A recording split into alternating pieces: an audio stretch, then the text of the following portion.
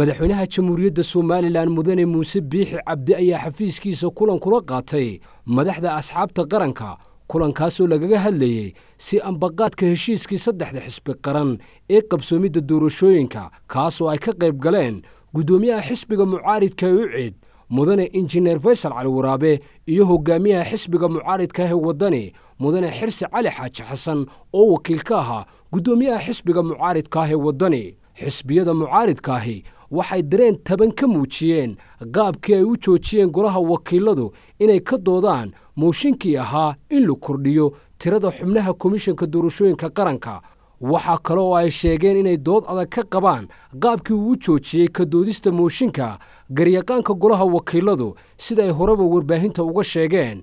in kasta oo aanay ku filnayn in golaha wakiiladu uu doodgeliyo mooshinka ay soo jeediyeen saddexda xisbi qaran. Haddana mar haddii garyaqaanka golahu uu dood sharci ka keenay madaxweynaha jamhuuriyadda somalilan waxa uu ku teliyey inaynaan wakhti badan ku lumin doodda sharci ee xilligan. Balse laga faa'iideeyo muddada kooban ee aynu haysanno sidaa darteedna waxa uu madaxweynuhu ka codsaday labada xisbi qaran inay qayb ka ahaadaan hannaanka geeddu socodka doorashooyinka ee ay horeba u saxeexeen saddexda xisbi qaran ee jamhuuriyadda somalilan. Madaxweynaha jamhuuriyadda somalilan mudane muuse biixi cabdi waxa uu labada xisbi qaran ku adkeeyey inay muhiimadda koowaad siiyaan qabsoomidda doorashooyinka islamarkaana waxa uu u soo jeediyey in asxaabta qaranku ay dulqaad u yeeshaan wixii ay u arkaan gef iyo khalad inta lagu guda jiro hannaanka geeddu socodka doorashooyinka. Madaxweynaha jamhuuriyadda somalilan mudane muuse biixi cabdi waxa uu si cad u ballanqaaday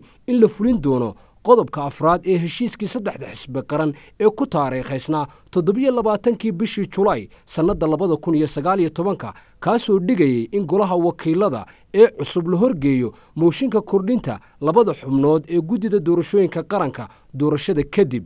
kulankaasi waxa uu ku soo dhammaaday jawi deggan waxaanu madaxweynuhu mar kale ka codsaday asxaabta qaranka inay sii wadaan geeddi socodka doorashooyinka. Sidoo kalena waxa uu ku bogaadiyey asxaabta qaranka dadaallada ay ugu jiraan qabsoomidda doorashooyinka ugu dambayn madaxweynaha jamhuuriyadda somalilan mudane muuse biixi cabdi waxa uu qoraal u kala diray shan iyo labaatankii bishan ogost sannadda labada kun iyo sagaaliyo tobanka asxaabta qaranka iyo golaha guurtida si ay u soo gudbiyaan xubnihii cusbaa ee guddida doorashooyinka qaranka. Si waafaqsan xeerka doorashooyinka madaxtooyada iyo golayaasha deegaanka ee xeer nambar labaatan labada kun iyo kow